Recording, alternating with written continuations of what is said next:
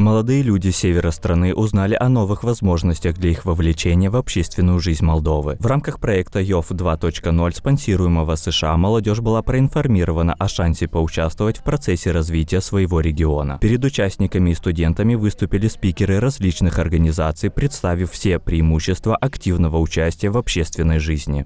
Astăzi ne-am propus să încurajăm tinerii să fie mai implicați în comunitate.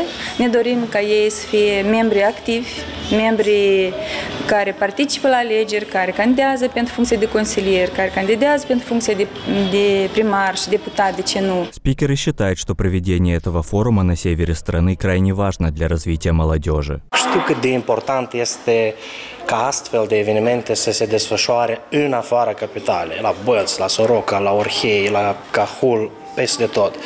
Pentru că este important ca tinerii să aibă activități și noi, mă rog, cei mai maturi, să le asigurăm retenția, activitățile în teritoriu, în localitatea de baștină sau în centrele raionale. Cel mai important factor este instruirea și este activitatea extracurriculară a fiecărui tânăr în afara orilor.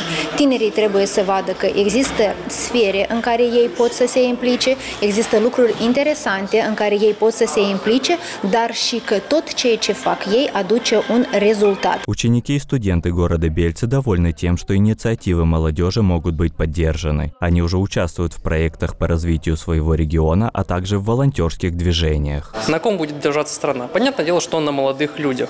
И сегодня мы видим то, что у нас появляется множество различных проектов, э, выделяются гранты, проводятся форумы всякие разные. Потому очень важно, чтобы молодежь в них включалась. Ultimul proiect pe care l-am câștigat este din partea Institutului Virtutes Civile, în valoare de 150 de mii. Молодежный проект осуществляется Ассоциацией по правам человека Лекс-21 при финансовой поддержке посольства США в Молдове.